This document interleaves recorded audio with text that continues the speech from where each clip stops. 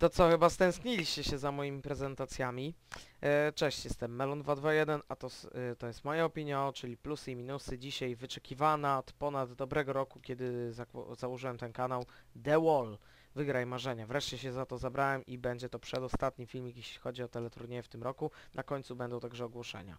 Ale przejdźmy do rzeczy, potem ogłoszenia. Pierwszy plus prowadzący. Paweł Orlański wywiązuje się bardzo dobrze z tej roli, nie przeszkadza uczestnikom, wręcz ich wspiera, y, nie jest irytujący, a na dodatek y, przyjemnie się go słucha. Pierwsza runda. Pierwsza runda jest y, co prawda typowa, ale mi się podoba. Oczywiście są dwie odpowiedzi A lub B. Zawodnicy zaznaczają ten guzik taki duży i albo nic nie dostają, albo dostają właśnie te pieniądze, które wygrywają z tej pierwszej rundy, potem tam się to mnoży już pod koniec finale i taka kwota ze ściany wychodzi, potem są wiadomo pytania i na tym polegają zasady. No i właśnie przechodzimy do trzeciego plusu zasady. Uważam, że zasady są proste w tym teleturnieju, czyli pierwsza runda, dwie odpowiedzi A lub B.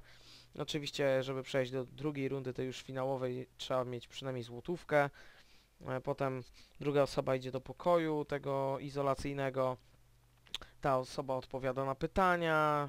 Jak źle odpowiada na pytanie, to czerwona kula, jak dobrze to zielona kula, czyli jak czerwona to tracą pieniądze, jak dobra to zyskują te pieniądze. Najpierw są oczywiście trzy kule zielone, żeby jeszcze podwyższyć ich stan konta, ale potem po pytaniach są jeszcze trzy kule czerwone, czyli żeby obniżyć ten stan konta, także to się wszystko wyrównuje. No i czwarty plus to ściana. Jest to chyba jeden z pierwszych formatów, który wykorzystuje tak dużą ścianę. Na dodatek wiele wersji zagranicznych jest e, również nagrywanych w Warszawie w studiu Transcolor, także e, jesteśmy z tego powodu bardzo zadowoleni, także brawo. Nasza ściana jest wykorzystywana w zagranicznych wersjach i powinniśmy się z tego cieszyć. Gratulacje także za projekt tej ściany, chociaż on był inspirowany tą oryginalną amerykańską wersją. Przechodzimy do minusów. Pierwszy minus mowy końcowe. Mowy końcowe są tak irytujące, że nie da się ich słuchać. Zawsze są one typowe, zawsze są one powtarzalne, zawsze gada się to samo do tych samych osób i tak dalej, i tak dalej. No nie da się tego słuchać, chce się wcisnąć ten magiczny guzik w pilocie mute. Chyba, że oglądacie na VOD, to wtedy po prostu bierzecie obcej głośnik i wyciszacie do zera i czekacie, aż ta mowa końcowa się skończy. Drugi minus to gadanie do kul. Gadanie do kul jest najbardziej irytują, e, najbardziej denerwującą sekcją w tym teleturnieju. Oglądasz ten teleturniej, zawsze kule start, a potem a jeden, jeden, a dziesięć, a nie, ten jak czerwona to jeden, jak zielona to tam 100 tysięcy. No nie zesrajcie się, Jezu. To jest tak rakowa forma e, właśnie w tym programie, że tego się nie da słuchać i również chce się wtedy wyłączyć ten program. Nie znalazłem żadnego odcinka, żadnego właśnie odcinka z parą, która by tak durno nie gadała. Nie wiem, czy to jest wpisane w umowę przez Endemol, czy nie, ale naprawdę mogliby sobie to podarować. Trzeci minus to cele charytatywne. I nie zrozumcie mnie źle, ja doceniam to, że oni na coś zbierają, tylko jeszcze jakby to były gwiazdy, spoko, ale to są zwykli ludzie, okej, jakby połowę pieniędzy przeznaczali na cel charytatywny, a połowę dla siebie, to jak ja najbardziej bym to zrozumiał, jednakże to jest takie mm, mech, nie? Każdy odcinek czujesz się jakby to był odcinek z gwiazdami, bo przeznaczają coś na cel charytatywny, robią coś dobrego i mówi, nie zrozumcie mnie źle, ja to doceniam, ale aczkolwiek wolałbym zobaczyć jakiś odcinek, w którym grają tylko i wyłącznie dla siebie, a nie na jakąś fundację i, czy swoją federację. No i czwarty minus, działanie na emocjach ludzi.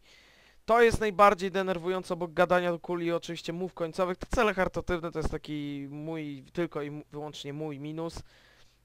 Działanie na emocjach jest takie właśnie w mowach końcowych, te gadanie albo na początku, albo na początku, kiedy się właśnie pary przedstawiają. To jest ewidentne granie na emocjach ludzi, żeby o, o Jezu, tak mi przykro, no Jezu, życzę im powodzenia, no bo ta historia mi ich urzekła. Tak na tym to wygląda. Mnie to takie, mnie takie coś denerwuje granie na emocjach właśnie ludzi i miejmy nadzieję, że będzie tego jak najmniej, no ale sprzedaje się znakomicie, także no wątpię.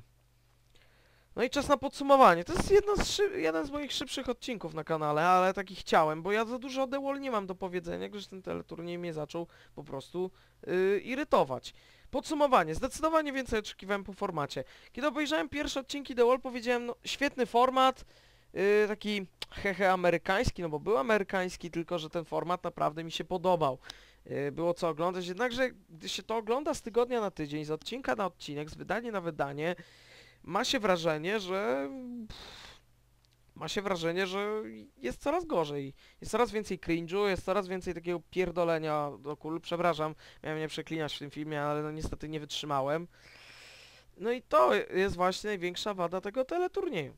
No i drugi podsumowanie, drugi punkt podsumowania, mimo wszystko nie jest to format, którego chciałbym, y, któremu życzyłbym spadku. Dlaczego? Bo są o wiele gorsze formaty, które na to zasługują, jak Taxi Kasa, następny proszę, który całe szczęście schodzi z rowerka i naprawdę, czy ktoś wierzy w to, że na wiosnę Puls zrobi drugi sezon następnego, bo ja nie.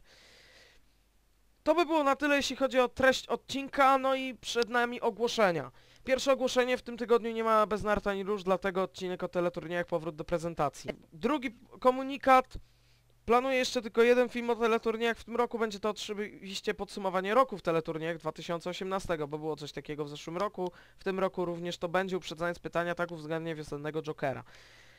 I trzecie ogłoszenie jest takie, planuję Q&A, planuję Q&A, wruszy ono już na start 2019 roku, także pod tym filmem oczekuję pytań, jeżeli ktoś nie dotrwa jakimś cudem do tej końcówki, to jeszcze dam przypięty komentarz, żebyście zadawali pytania. Tym razem nie będzie to tylko i wyłącznie teleturniejowe, pyt e, teleturniejowe pytania, tym razem pyt pytajcie o wszystko, czyli co lubię, czym się interesuję i tak dalej, i tak dalej. Oczywiście również zapraszam na Discorda, e, teleturniejawka obecnie się nazywa, czyli jak będzie w finale sekcja teleturniejowa, jakby ktoś pytał, ale e, potocznie teleturniejawka.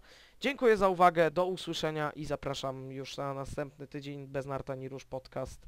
No i oczywiście podsumowanie roku w teleturniejach, to są te dwa filmy, które jeszcze będą w tym roku.